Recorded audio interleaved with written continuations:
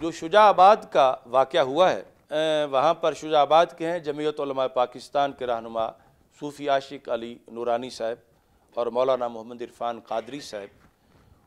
उन्होंने पहले तो मुफ्ती मोहम्मद अब्दुल अलीम जलाली साहब के ज़रिए से रबता किया, फिर उनका एक वीडियो क्लिप भी मेरे नाम सवाल की शक्ल में गर्दश कर रहा है। मैं हाफिज़ मोहम्मद इरफान कादरी, मेरे साथ जमीयत पाकिस्तान, जनूबी पंजाब के नायब सदर जनाब हाजी आशिक अली ख़ान कादरी साहब, मोहतरम हामिद शाह साहब और भाई हाफिज़ मोहम्मद हसनैन साहब मौजूद हैं। हमारा सवाल हुजूर कंजुलमा से ये है कि गुज्त दिनों जो खानपुर काजिया शरीफ के मज़ारात पर, उर्स मुबारक के मौका पर दरबार शरीफ कब्रों के इर्द गिर्द चक्कर, सात चक्कर लगाकर और अल्लाहुम्मा लब्बैक की सदाएँ बुलंद आवाज़ से की गई। तो मेरा सवाल ये है कि ये जो तलबी अदा किए गए कब्रों के इर्द गिर्द चक्कर लगाकर, जिन लोगों ने ये किया है, उन पर शरी हुक्म क्या लगता है?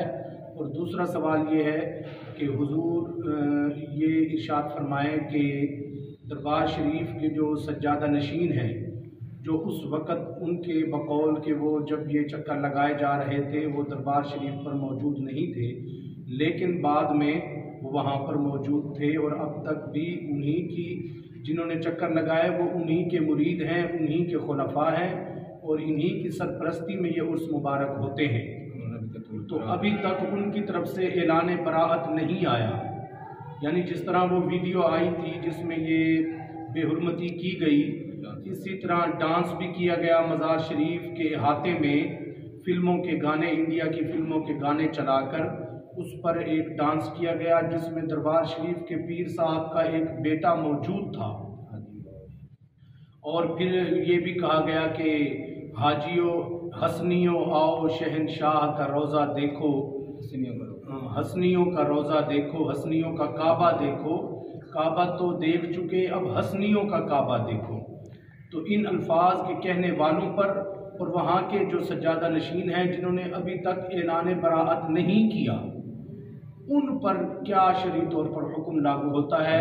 हजूर कंजुलमा हमारी रहनुमाई फरमाएँ, जहाँ तक हमारा काम था, हमने प्रेस कॉन्फ्रेंस करके ये बाकायदा अखबार में, मीडिया में दे दिया है कि हमारा इन तमाम अवामिल से अहल सुन्नत का कोई ताल्लुक़ नहीं, बल्कि ये अहल अकीदा अहल सुन्नत पर हमला है। हमने यहाँ तक कह दिया है। अब शरी तौर पर आप हमारी रहनुमाई फरमाएँ कि उन पर क्या हुक्म लागू होता है। मैंने जवाब तो दे दिया है, लेकिन थोड़ा सा उन्होंने पूछा है सज्जादा नशीन के बारे में कि जहाँ तवाफ़ हो रहा था, कब्रों के गिर्द। ये तहकीक हुई कि ख़ुद सज्जादा नशीन उसमें मौजूद नहीं था तवाफ़ करने में, उसके खुलाफा थे। लेकिन अब गिरफ़्तार से सज्जादा नशीन भी हो चुका है। तो अब वो सज्जादा नशीन बारात का सुना है इजहार कर रहा है कि मेरा इससे कोई ताल्लुक़ नहीं। तो ज़ाहिर है कि हमारा फतवा जो शरीक जुर्म है, उसके बारे में है कि वो जिंदीक लोग हैं।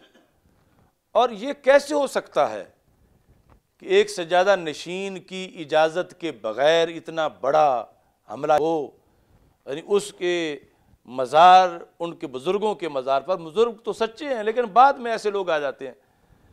तो अब वो ये कहता है कि मेरा इसमें दखल नहीं, ये अकल में बात नहीं आती। तो हुकूमत तफ्तीश कर ले। कराइन मौजूद होंगे यकीन खुलफा भी कहेंगे, हज़रत साहब ने हमारी खुद रहनुमाई की थी कि ऐसा इस साल एक नई वैरायटी पेश करो, माजल्ला। तो हमारा फतवा उस जुर्म के इरतकब पर है। और जुर्म किस किस ने किया? ये एजेंसियों का, हुकूमत का काम है। अगर सज्जादा नशीन ने किया तो वो बराबर का मुजरिम है। उसकी इजाज़त से हुआ तो फिर भी वो शरीक जुर्म है। हाँ अमलन करने वाले जराइम उनकी कैटेगरी और होगी, लेकिन जुर्म उसका भी होगा।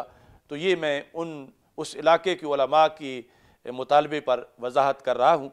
मज़ीद उन्होंने एक सवाल में आगे कहा, लेकिन वो प्रूफ नहीं देंगे तो उसका मैं आगे जवाब नहीं दूँगा कि वहाँ पर कुछ गाने गाए गए नंगे म्यूज़िक के गाने। एक तो होती है ना कवाली यानी वैसे गाने गाए गए, और फिर कुछ ऐसे जुमले जो काबा कहना, या हाजी आओ शहनशाह का रोज़ा देखो, या जो रसूल पाक सल्लल्लाहु अलैहि वसल्लम की गुंबद खजरा के लिहाज से नाज शरीफ है, वो उन कब्रों के लिहाज से पढ़ना, ये जब मेरे पास प्रूफ आ जाएँगे इसके तो इसका हुक्म भी इन मैं शरी तौर पर बयान करूँगा, उस जो कल चल गया है हमारा फतवा और उसका क्लिप, उसमें आप देख सकते हो कि हमारी, हम कमज़ोर से हैं, मगर आँख देख रही थी कितने साल पहले से कि बंद बांधना चाहिए, वरना ये जो फ्री सटाइल है, ये गाड़ी कहीं जाके टकरा जाएगी। मगर हमारा साथ देने वालों ने, यके बाद दीगरे जो किरदार अदा किया वो सामने ही है। उस पर आप दस्तखत देखें, उस फतवे पे किस किस यानी मैं तो अपने असल पे, महाज पे खड़ा हूँ। मगर मेरे पीछे जो खड़े थे उस वक़्त, कुछ तो दुनिया से चले गए। अल्लाह उनकी कब्रों पे रहमत नाजिल करे। लेकिन कुछ तो अब भी ज़िंदा है। लेकिन मैं तो वहाँ ही खड़ा हूँ, वो कहाँ खड़े हैं? क्योंकि यहाँ खड़े होने पर पत्थर इतने लगते हैं कि पिछलों को भी पड़ते हैं, जो दाएँ बाएँ बैठे उनको भी लगते हैं। जो सामने हों, उनको भी लगते हैं। तो इस वास्ते लोग कोई दाएँ से उठे, कोई बाएँ से, कोई पीछे से हटे। लेकिन अल्लाह का फजल है, हज़ार खौफ हो, लेकिन ज़ुबा हो, दिल की रफ़ीक। यही रहा है अज़ल से कलंदरों का तरीक। तो हम उन कलंदरों के कारकुन हैं छोटे छोटे अल्लाह ताला इस्तकामत अता फरमाए।